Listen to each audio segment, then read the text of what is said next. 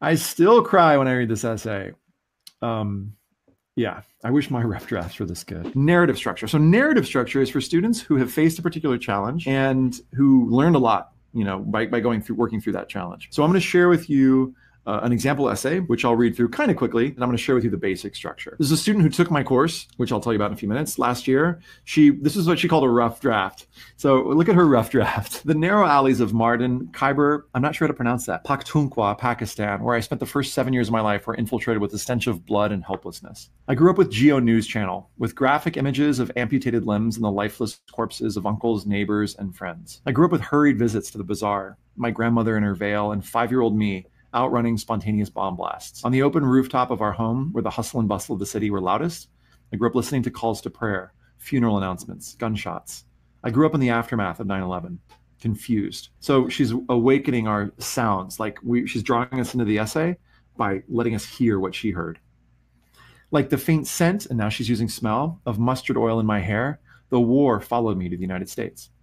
Here I was the villain, responsible for causing pain, in the streets, in school, and in Baba's taxicab, my family and I were equated with the same Taliban who had pillaged our neighborhood and preyed on our loved ones. War followed me to freshman year of high school, when I wanted more than anything to start new and check off to dos in my bullet journal. Every time news of a terror attack spread, I could hear the whispers, visualize the stares.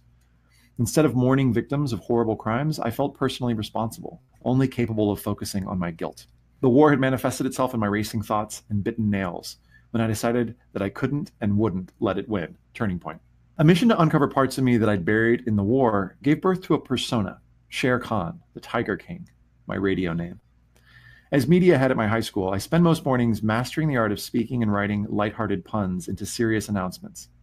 Laughter, I've learned, is one of the oldest forms of healing, a survival tactic necessary in war and peace, too.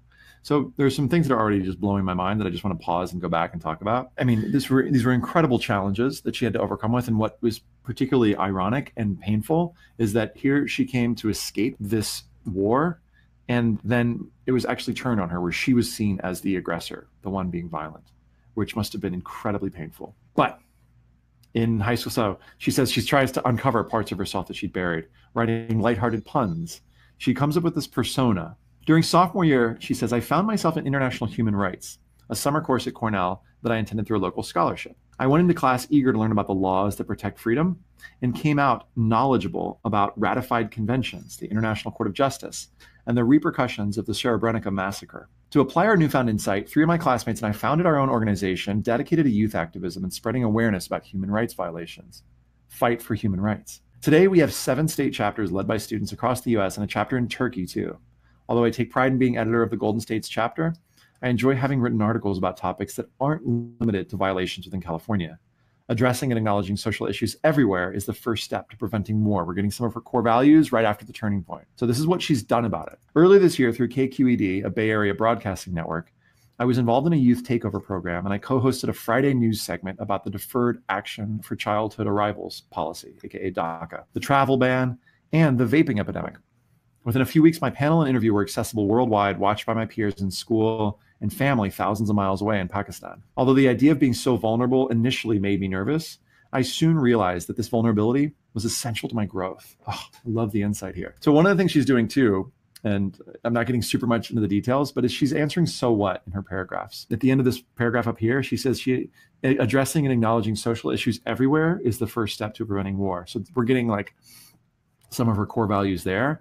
And here she's saying the idea of vulnerability is core to this whole deal. Here's her final paragraph. She says, I never fully escaped war.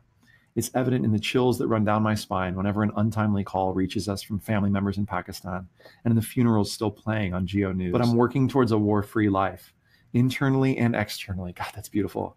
For me and the individuals who can share in my experiences for my family, and for the forgotten Pashtun tribes from which I hail. For now, I have everything to be grateful for. War has taught me to recognize the power of representation, to find courage and vulnerability, and best of all, to celebrate humor. I still cry when I read this essay. Um, yeah, I wish my rough drafts were this good. I feel bad, like even talking about the structure, because I just want to like sit for a minute and just like enjoy the amazingness of this human story. Um, but Here's the structure. She begins with what's called status quo. Status quo is essentially giving us what is the context for how you grew up or the opening of the story. In this case, the status quo is like a war torn upbringing she grew up in war, you know, and, and, and usually this inciting incident raises a question like, is, is this going to help her get away from this war? And actually, what raises the stakes in this story is that it doesn't.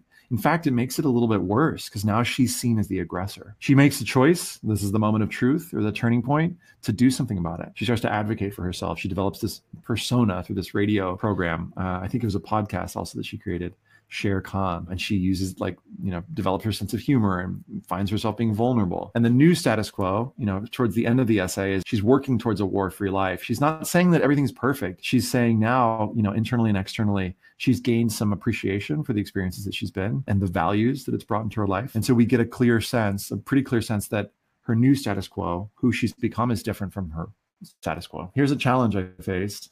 Here's what I did about it. Here's what I learned. And it tells it in a chronological causal way, you know, war in our lives. So that led to us coming to the US, which led to people, you know, bullying me, which led to me developing this persona to deal with it, to like develop some control, a locus of control. So if you've written, uh, you know, if you've experienced tough challenges, I recommend this narrative structure. If you're more like, ah, I don't know, I feel like I'd be forcing it to talk about challenges. I haven't faced war and been persecuted. And I'm not saying that that has to be the only challenge. Some students write about being really shy. Um, then you could potentially use this structure.